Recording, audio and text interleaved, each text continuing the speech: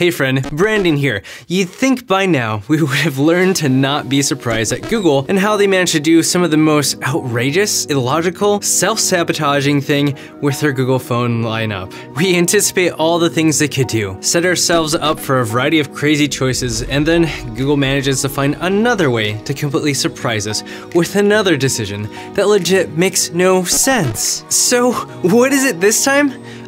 I can't believe I'm saying this. It looks like Google may make their upcoming Google Pixel 4a better than the Google Pixel 4 XL, and all of this before the Google Pixel 5. It's insanity. So let's talk about it in some new Google Pixel 4a leaks because this is Tech Today.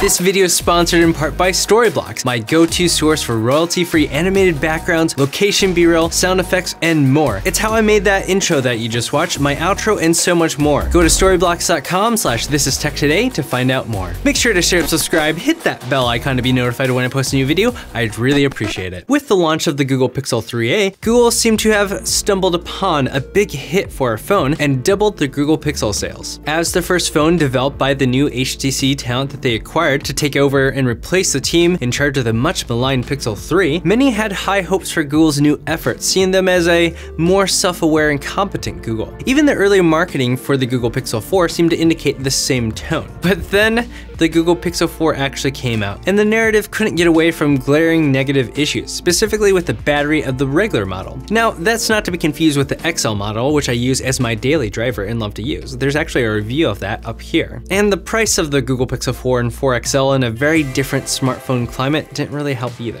So with some pretty basic level issues of having a bad battery, a price point too high, and a fairly predictable season of buggy issues for the first couple of months, the feeling of Google being self-aware and newly capable of something greater than before began to feel like the same old thing again. So with the Google Pixel 4a, we have a lot of questions. First, what in the world would Google add to it that isn't already found in the Google Pixel 3a right now?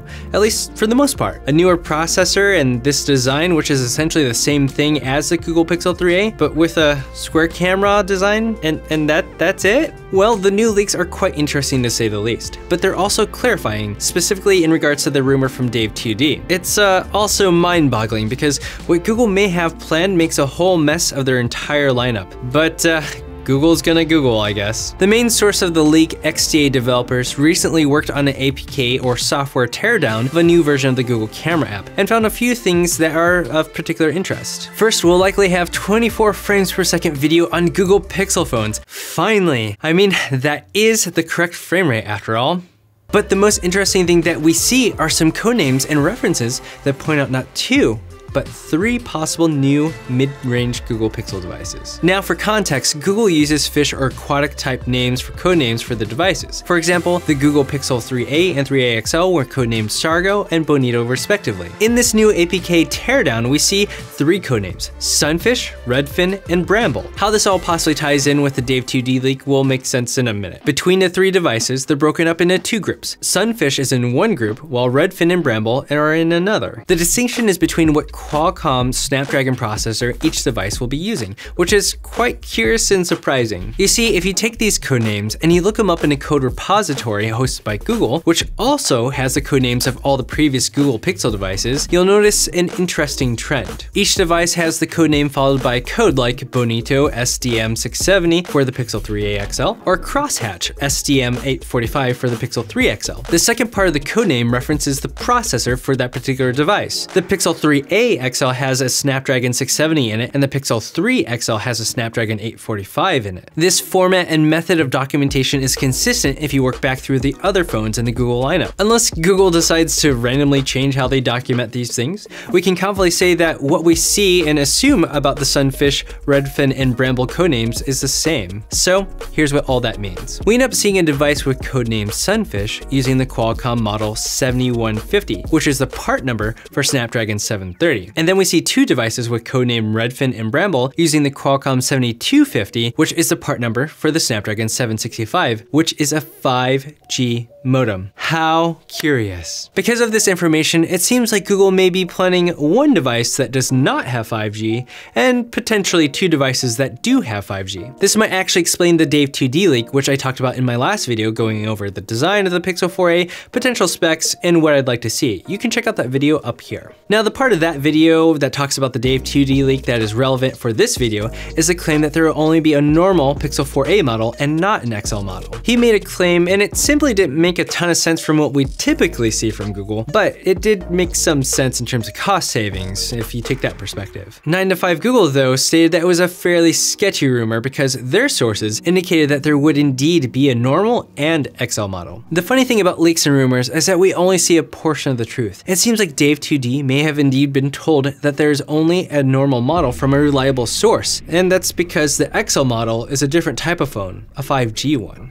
Additionally, it seems like it's more likely that we'll see two mid-range Pixel devices, not three. Redfin shows up in some areas of code, but not all, like Sunfish and Bramble. XDA believes that this suggests that Redfin is a development board and not a full-on device. What that might be is unclear. Is it an early version of the Google Pixel 5 or something else? Surely the Pixel 5 wouldn't use a mid-range processor, right? It might be too early to tell what is going on with the Google Pixel 5, but to those that are more savvy with code and development than I am, please join us in the This is Tech Today community Discord Discord chat and help us investigate. You have to admit, this inconsistency is quite confusing and puts Google in a very complicated spot. They're contradicting themselves, which seems to keep happening every year. SMH. In many ways, the success of the Pixel 3a puts them in a really difficult spot. They have a hit phone at a great price with enough specs to satisfy the things that most people want. I've continually referred to this as the delight to dollar ratio, which I've coined in my Pixel 3a review video, which you can check out up here. With the Pixel 4a, where do you go without messing that up? Is a simple redesign of some parts of the phone and an upgrade to the latest processor in the same tier enough to get people to upgrade their phones? Or would they see the Pixel 3a and go with that instead for even cheaper? Because surely this will be discounted. And it's not like the Pixel 3a stopped working well. Plus, people considering a Pixel A type device are really price conscious, not spec conscious. So what do you do if you're Google? You could add something that's not there on the Pixel 3a and go with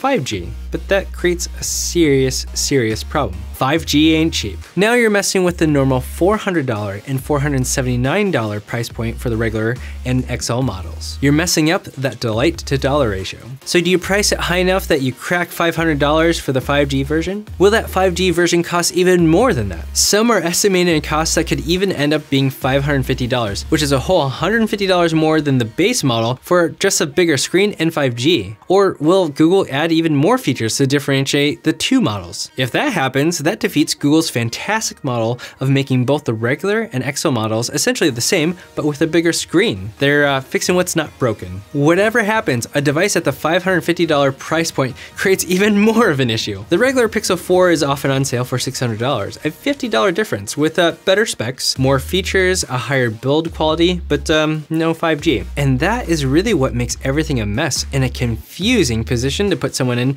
that just wants a new phone. But wait, it gets worse. I can't believe it. If this is all true, for some crazy reason, the mid-tier budget model has 5G when the current flagship doesn't. How in the world is a Pixel 4a XL better than the Pixel 4 in terms of network tech? Surely the Pixel 5 will have 5G in it if the mid-tier models have 5G, right? So does this mean that the upcoming Pixel 5 and 5 XL will be even more expensive than the launch price for the Pixel 4 and 4 XL? That is one of the reasons why the Pixel 4 and 4 XL didn't sell so well. They were overpriced in a lineup of other devices that were priced more competitively than ever. So I'm legit confused as to what Google's doing and how they'll get themselves out of this bind. If the Pixel 4a is announced at the same time and way that the Pixel 3a was, then we'll see it at Google I.O. 2020, which will take place on or around May 12th. So if Google happens to watch this video, please figure out what the heck you're doing, think about strategically, and make a plan. don't pull a Star Wars. Oh, and don't ruin the delight to dollar ratio. Pay attention to the landscape of fantastic devices that are priced competitively right around you. Price it right create something with excellence for both the A models and your flagships. Speaking of excellence, this video sponsors Storyblocks. If you didn't know, almost all of my intro, outro, and motion graphic backgrounds and more are made with Storyblocks. Storyblocks help me put all that together because of their unlimited library of over 1 million royalty-free assets that you can use and their library is constantly growing. They seriously have everything from stock video, location b-roll, images, sound effects, music, After Effects templates, and more. It's so great to use for commercials, videos for your business or group, podcasts, live streams, and so much more. The best part is that it's way cheaper to sign up for Storyblocks than buying each and every little clip. That actually gets really expensive doing it that way. When I was trying to figure out the branding for my channel and was shopping around, I realized it would save me a ton of money going with Storyblocks. Plus, the benefit of going with Storyblocks over hiring someone else for my intro and outro is I still have access to the library for anything else. So you should totally check out Storyblocks for your next project by going to storyblocks.com slash this is tech today. There's no other company that comes to mind that I'd use for royalty-free video than Storyblocks. Check them out. So, what do you think Google will do with the Pixel 4a line and the upcoming Pixel 5 line? How will they reconcile this mess they've made out of their lineup? Also, would you even want a 5G enabled mid-tier Pixel device? And if so, how much would you pay for it? Let me know in the comments and in the This is Tech Today community Discord chat server. We'd love to have you. Thank you for watching This is Tech Today, where we talk about the intersection of technology in our everyday lives, in business, and in all things creative. Until next time.